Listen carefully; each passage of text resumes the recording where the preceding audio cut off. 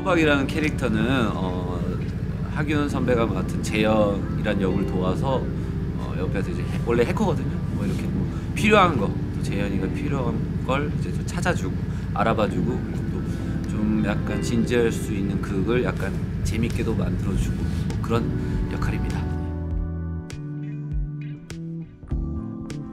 유튜브 뭐 유, 유튜 어 유튜버 근데 제가 이제 과학 유튜버라 뭐 이렇게 뭐 약간 뭐 up돼서 한다기보다는 뭐 약간 뭐 진지한 느낌이긴 한데 앞에서 소개하는 게 있거든요. 어, 뭐 짧게 보여드리면 어, 요즘 뜨는 최신 과학 뉴스만 골라서 알려주는 프로박의 one punch science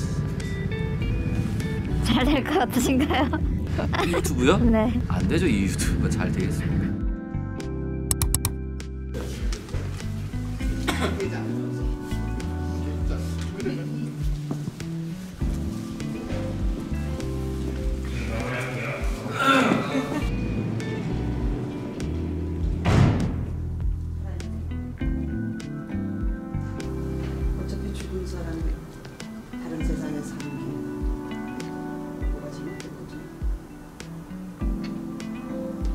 사람의 나약한 감정을 이용해서 가짜처럼 팔아먹는 게 잘하는 겁니까? 하루에 40명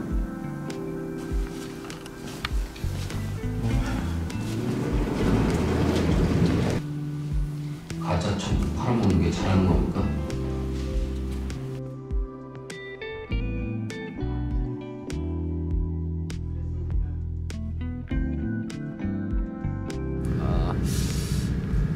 한 3개월, 4개월 정도 이렇게 어, 열심히 촬영했는데 현장이 진짜 너무 좋았거든요.